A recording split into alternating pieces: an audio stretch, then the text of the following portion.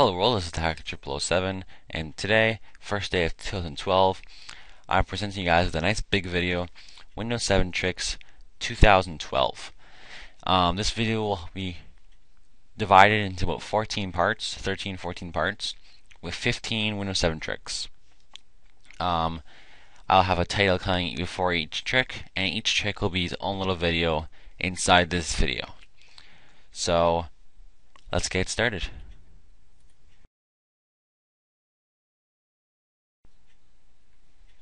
So the first trick will be using keyboard shortcuts. Now these keyboard shortcuts can really eliminate time getting to programs and opening and closing things. Here I have uh, six shortcuts. Um, they'll be in the description so you can take a further look at them. So just to show you, Windows the Win equals the Windows button on your keyboard, left arrow, left arrow obviously, is on mine just above the or the end button. Me, it's the keypad or um, actual keyboard, a little higher a little lower, depending if you're on laptop or desktop computer. So the Windows left arrow and the right arrow will dock the window to the left and right side of your screen. So Windows left, Windows right, as you see. So that can always save you time when you're multitasking. So you open something up, you can just quickly do that and get it to the right side of your screen, docked and ready to open something else and pin to your right side. The Windows up arrow and the Windows down arrow minimize, maximize and minimize. So Windows down minimizes, Windows up maximizes.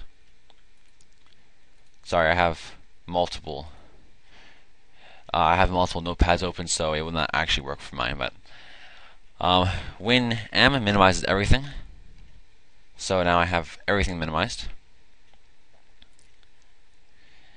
Um, alt up and alt left arrow, alt right arrow, navigate to the parent folder, or browse back and forth through folders in Explorer. So here I have Explorer, and now if I go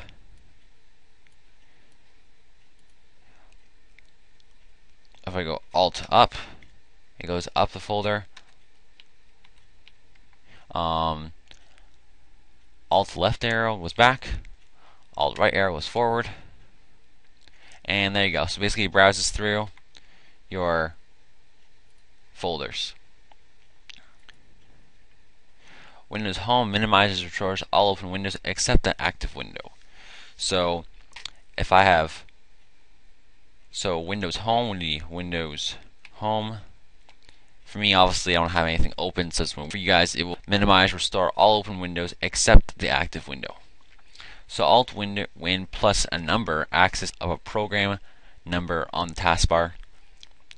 So Alt Win 3, 4, whatever, and there you go. You should your jump list will pop up. So that's the end of the first part. I will continue on with the next trick.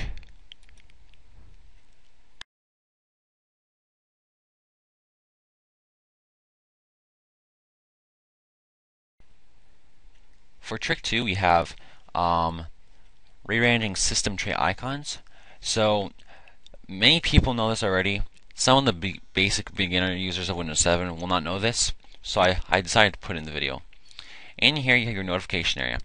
If you do click on one of the icons, you may you can rearrange it to any part of the system icon or uh, system tray icons here, and it's actually very useful when you have many um, icons, it can you know help out. You want to put your most important one to the top.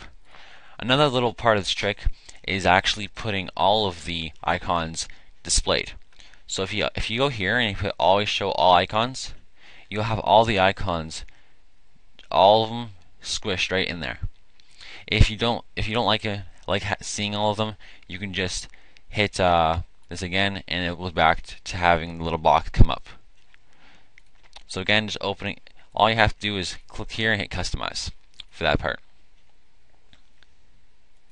And then on to trick 3. For trick 3, we have a, a simple trick that I actually did not know for a while until about two weeks ago. This trick is accessing the jump list without using the right click. So what if you don't know what a jump list is, when you right click on a taskbar icon, you have the jump list, which is this right here. There's another way of accessing this. This is useful for touchscreen computers or people with laptops. All you have to do is actually left click on the icon and drag up. By dragging up, you will re reveal the jump list. If you do not re release your click and pull back down again, the jump list will fade away. So again, all you have to do is click on it once and hold the click and pull it up and you will get the jump list. You then can click on something and it will open up just as the normal jump list would.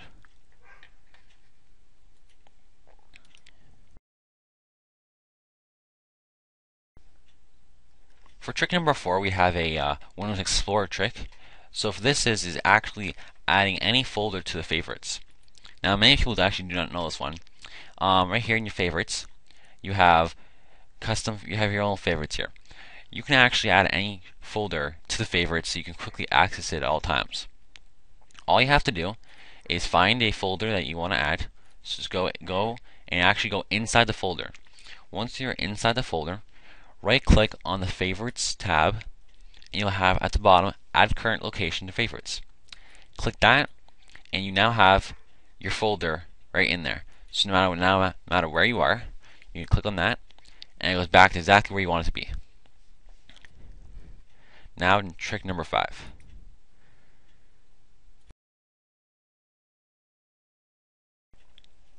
Trick, trick number five is pinning frequently used folders to the taskbar. All you have to do is open up Windows Explorer, find the folder you want, drag it to your taskbar, and you have the option to pin it. You then will find it right there. Then you click that, it will automatically open it up. Now trick number six.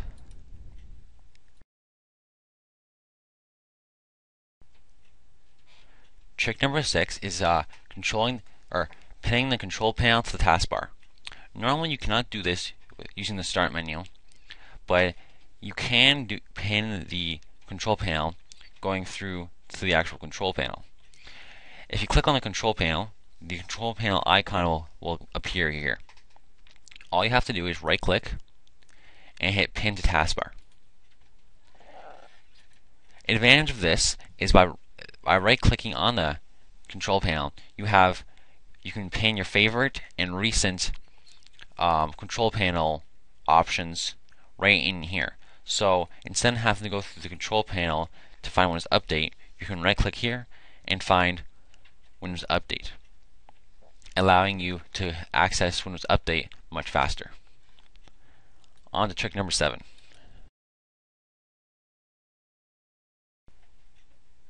Trick number seven is creating keyboard shortcuts for any shortcuts. So, if you have a standalone program, I suggest creating a shortcut for this program and then right clicking the shortcut. All you have to do is right click any shortcut, hit Properties, and you will have the option right here to create your own shortcut. All you have to do is type hit hit or type the shortcut on your keyboard right when you click in the shortcut key and it will automatically enter it for you. I, I clicked Control Alt G. When I hit apply, whenever I hit Control Alt G, Google Chrome will open. On to trick number 8.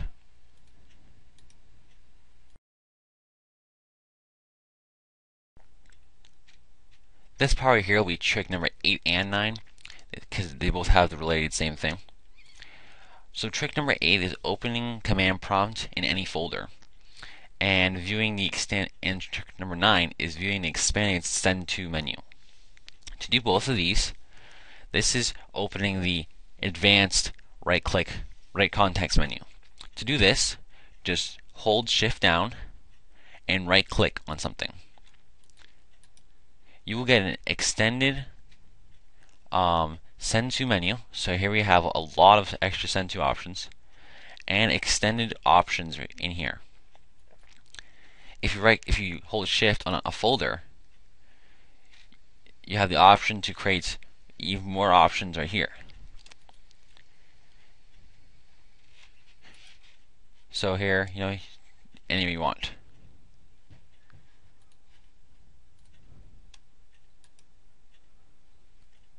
Uh, here we have more options. And right here is the open command window here. So if you click on that, it opens up the administrative CM or command prompt with that folder as the default location. On to trick number 10.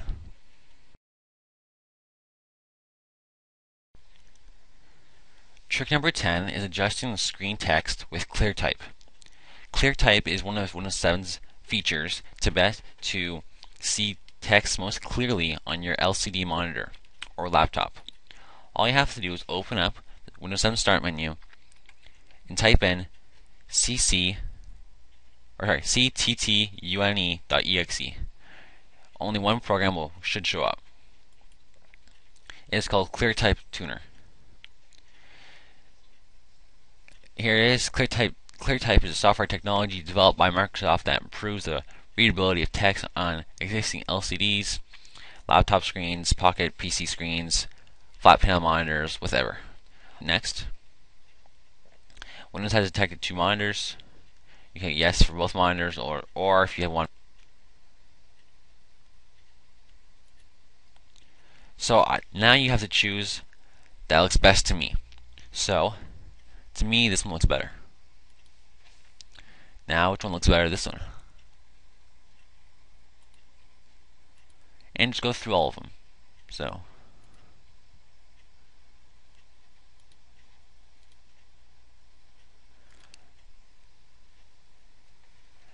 And that's about it.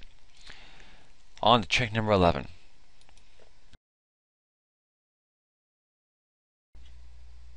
Trick number 11 is getting exact colors on your screen. This will help you get exact perfect colors on your screen. To do this, open up the Start menu and type in d dccw.exe. Again, I'll have this in the description. Open it up and follow the steps to find the best color for you. So just go through and go through everything and you should have a better color looking wise on your computer. On to trick number 12 is customizing the on the Windows 7 Start menu. To change this, right click and hit Properties. Under Start Menu tab, the power button, button action can be changed to switch user, log off, lock, restart, sleep, or shut down. By clicking on one of these and clicking apply, it will now be changed to whatever you selected. You can always change it back to the shutdown if you find you like the shutdown better. Now trick number 13.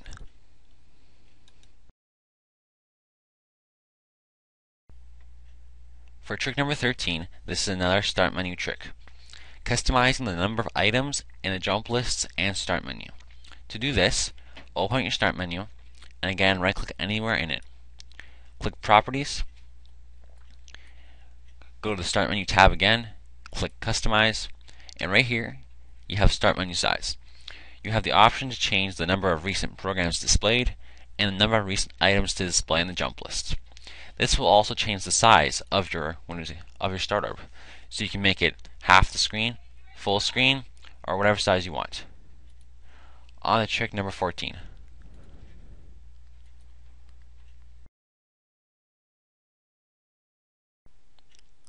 Trick number 15 is adding videos to the start menu. What I mean by this is, on the normal default Windows 7 start menu, you, you do not have a videos link. To add this, right-click anywhere on the Start menu, open Properties. Then click Customize. If you scroll down to right here, last one, you have videos. If it displays link, it will have you'll have the option to click on it and it will open up your video section of your libraries. Along here you have other options like recorded TV, system administrative tools, personal folder, network, and other options throughout the start menu.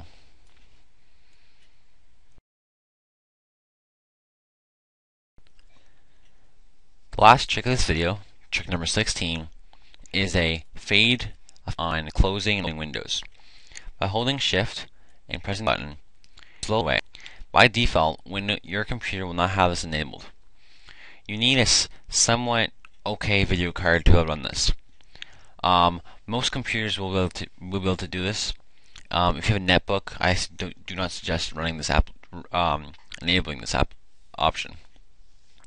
To enable this and other awesome visual features, open your Start menu and type in Visual. Go to the under the Control panel, go to the last one at the bottom. You'll have the you know, should say Adjust the appearance and performance of Windows. Click that. Here, it will have different options. Um, depending if you're a non-geeky user, you might want to just hit Let Windows choose what's best for my computer. It will analyze your computer and choose what's best or you can adjust it for best performance or best appearance.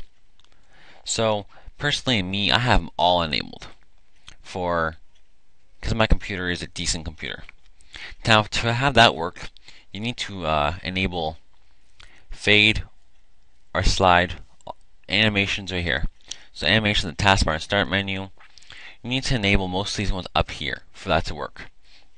Once you have that working, you will be able to hold the shift button and have the slow opening effect like that right there and the slow closing effect.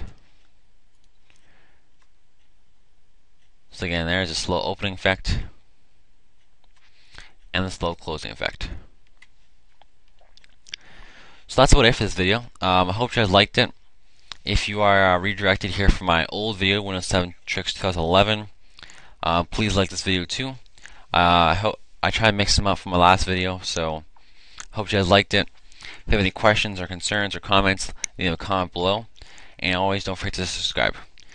This is the Hacker 007, and I'm signing off.